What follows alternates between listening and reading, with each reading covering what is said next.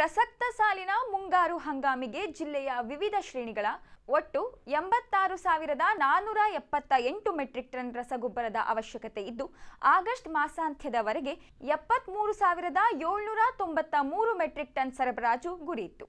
ಆದರೆ, ಒಟ್ಟು ಎಂಬತ್ತೇಳು ಸಾವಿರದ ಇನ್ನೂರ ಇಪ್ಪತ್ತೊಂದು ಮೆಟ್ರಿಕ್ ಟನ್ ರಸಗೊಬ್ಬರ ಸರಬರಾಜಾಗಿದೆ. ಪೂರೈಕೆಯಲ್ಲಿ ಯಾವುದೇ ಕೊರತೆ ಇಲ್ಲ ಎಂದು ಸಂಸದ ಬಿವೈ ರಾಘವೇಂದ್ರ ತಿಳಿಸಿದ್ದಾರೆ. ಜಿಲ್ಲೆಗೆ ಯೂರಿಯಾ ರಸಗೊಬ್ಬರ ನಿಯಮಿತವಾಗಿ ಸರಬರಾಜಾಗುತ್ತಿದ್ದು, ಮುಂದಿನ ದಿನಗಳಲ್ಲಿ ಹಂಗಾಮಿಗೆ ಅವಶ್ಯವಿರುವ ರಸಗೊಬ್ಬರ ಸರಬರಾಜಿಗೆ ಈಗಾಗಲೇ ಬೇಡಿಕೆ ಸಲ್ಲಿಸಲಾಗಿದೆ ಎಂದರು.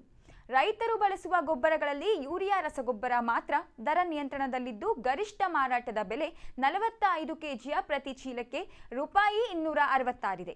ಕೇಂದ್ರ ಸರ್ಕಾರವು ರೈತರು ಖರೀದಿಸುವ ಪ್ರತಿ ಚೀಲಕ್ಕೆ ರೂಪಾಯಿ ಐವತ್ತರಂತೆ ಸಹಾಯಧನವನ್ನು ನೀಡುತ್ತಿದೆ. ಪೂರೈಕೆಯಲ್ಲಿ ಯಾವುದೇ ರೀತಿಯ ಕೊರತೆಯಾಗಿಲ್ಲ ಎಂದು ಸಂಸದರು ತಿಳಿಸಿದ್ದಾರೆ. ಇನ್ನು ಬೆಳೆ ಸಮೀಕ್ಷೆ ಅವಧಿಯನ್ನ ಸೆಪ್ಟೆಂಬರ್ ಇಪ್ಪತ್ನಾಲ್ಕರವರೆಗೆ ವಿಸ್ತರಣೆ ಮಾಡಲಾಗಿದೆ ಎಂದು ಮಾಹಿತಿಯನ್ನು ಕೂಡ ನೀಡಿದರು.